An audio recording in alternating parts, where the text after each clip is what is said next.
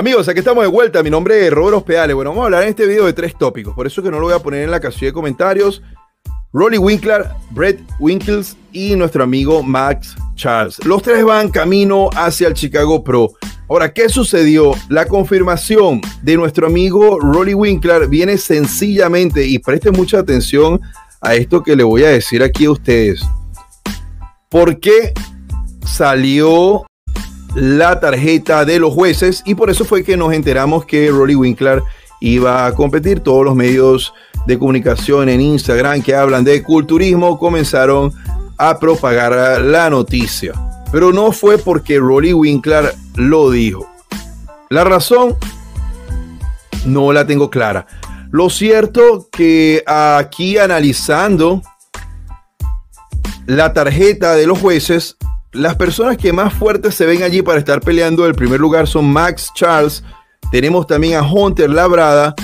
Tenemos a nuestro amigo Hassan Mostafa. A Mohamed Shaban, que viene a hacer dos veces un segundo lugar. Por eso es que es una de las personas que debería estar peleando el primer lugar. Brett Winkles. Le voy a decir lo siguiente con este chico. Cuando lleguemos allí a hablar de él, les voy a explicar algo por qué a pesar de que no tenga chance de estar eh, en los primeros lugares, lo estamos, bueno, sí puede estar en los primeros lugares, pero como tal peleando el primer lugar va a ser complicado, a menos que sea una super sorpresa, pero está complicado de que eso ocurra. Y Rolly Winkler, son los nombres que más salen en la lista. Si ustedes quieren ver la lista completamente, pueden ir a mi cuenta de Instagram y revisarla. No la puse aquí porque se pierde con la calidad de, tratar de ponerla en la pantalla o sobre la pantalla.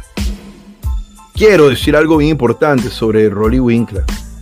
Y es lo siguiente, para que lo puedan entender. Rolly no compite desde el 2019. ¿Por qué?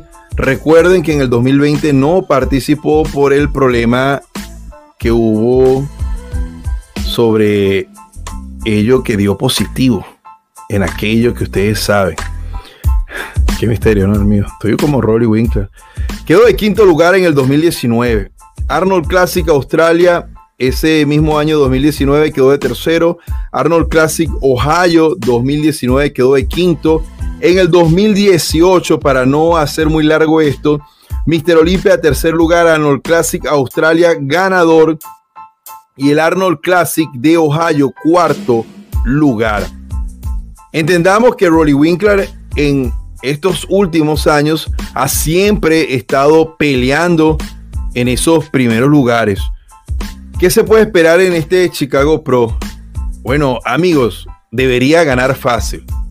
Matemáticamente, eso debería ocurrir. Ahora, ¿qué es lo que sucede? Porque es un tipo que tiene mucha experiencia. Ahora, la única manera que él pueda perder es que esté off totalmente. Pero sin embargo, él ha competido off. Sucedió y ya les voy a decir cuando chequeando esta lista aquí en el 2019, cuando quedó de quinto lugar en el Arnold Classic de Ohio, él no estaba en buena forma física. Y por cierto, yo no sé si ustedes se acuerdan que ese fue el momento donde él le dio el calambre en el abdomen y comenzó a quejarse mucho sobre la tarima. Y ya saben ustedes que el resto es historia. Vamos a desearle lo mejor a Rolly Winkler porque es un chico que tiene muy buena vibra. Aquí tienen a Brett Wilkin. ¿Por qué este chico aparece en este video a pesar de que no es muy conocido y pudiese otros culturistas como, vamos a decir un nombre que no es muy... Joseph McKay. Este chico, Dallas, Texas, tiene un tremendo físico. Él lo está entrenando, es un negrito. Pero lo que pasa, amigos, es pesado, pero no me gusta mucho la estructura corporal de él. Pero lo está entrenando Dennis James. Pudiese estar también peleando esos primeros lugares, pero yo quise poner a Brett y no poner a nuestro amigo McKay por esta simple razón. Brett lo está entrenando nada más y nada menos que el mismo preparador físico de Nick Walker, pero este chico se hizo profesional en la categoría Classic Physique hace tres años.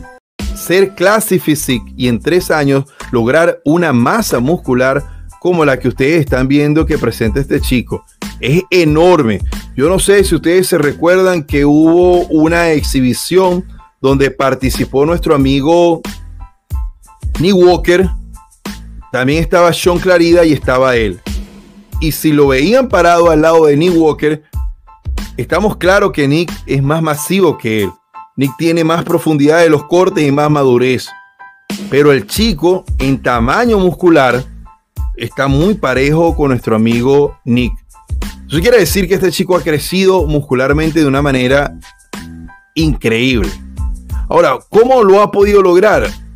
Sigo tratando de educar a las personas que vienen entrando en el mundo del culturismo y no saben mucho de esto. Todavía hay gente que tiene tiempo en esta situación y no se da cuenta que el factor genético es importante para lograr un tamaño muscular como el de este chico. Evidentemente la farmacología está allí. Alguien en mi cuenta de Instagram dijo esto. Este chico, no sobre Wilkin, sino en el Classic Physique, el alemán que quedó de segundo en la competencia que se hizo en Tijuana. 22 años y dice que es susceptible. Oye, este chico no debería estar consumiendo esteroides a esa edad. Ya es mayor de edad, amigos. Entonces, pero me da risa porque él dice, ahora dígame que no está consumiendo esteroides.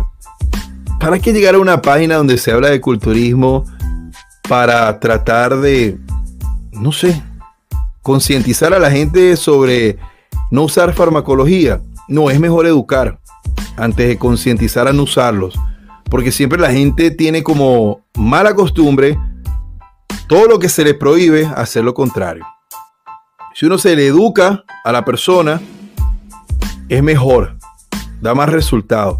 Ahora, aquí pasamos la página sobre Brett, le deseamos lo mejor, vamos a ver qué hace. Vamos a hablar de Max Charles. Pero yo quiero comentar algo bien importante sobre Max. Su preparador físico era Milo Sarcev, no sé si todavía sigue siendo así, creo que lo es, pero no tengo la certeza algo que quiero decir es que la última vez que este chico participó en un evento, alguien le sugirió no seguir trabajando con Milos porque, bueno, supuestamente Milos no tenía nada de conocimiento en esto. Amigos, sobre el planeta no hay nadie que haya sabido manipular mejor la insulina que Milos Sarcev. Llegó a tal punto que lo usaba o lo sigue usando como preentreno. Imagínense donde llegó Milos con el estudio de todo esto para poder lograr eso. El que ha usado insulina tiene un poquito de conocimiento con lo que estoy diciendo. El que no, no tendrá ni idea de qué les estoy diciendo aquí, pero la insulina es el componente en el culturismo más peligroso que hay. Tanto así que puede matar a una persona en minutos. Es el único fármaco que puede matar a alguien en minutos.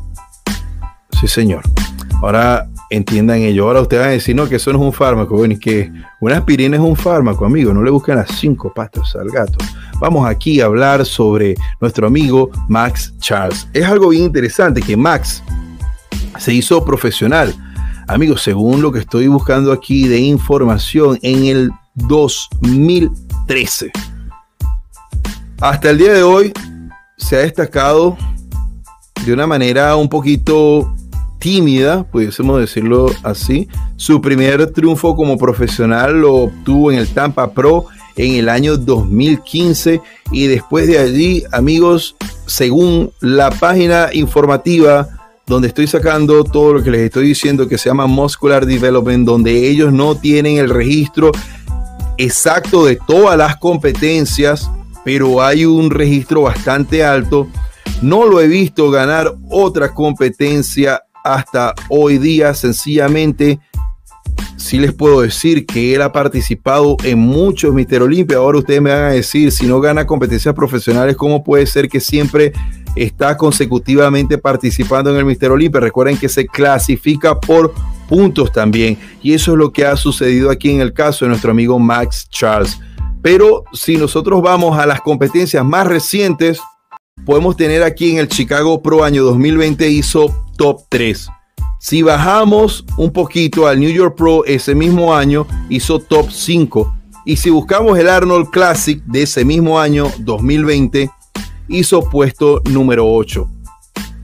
¿Qué puede hacer en el Chicago Pro? Podría él estar en el top 5. Hay muchísimos chances de ganar. Luego complicado. Al menos que se monte con una forma física que jamás haya hecho él en su vida y bueno, y gane la competencia. Pero no es nada fácil la categoría abierta y por eso es que muchos le huyen a esta categoría y prefieren hacer otras cosas diferentes como, y no lo voy a decir con mala vibra, ¿no? Competir en el Classic Physique, Men Physique o categoría 212 si son bajitos, porque si son altos no van a tener ninguna vida en esa categoría. Bueno amigos, se despide Roberto Peales como siempre con la señal de costumbre, paz y amor. Hasta luego.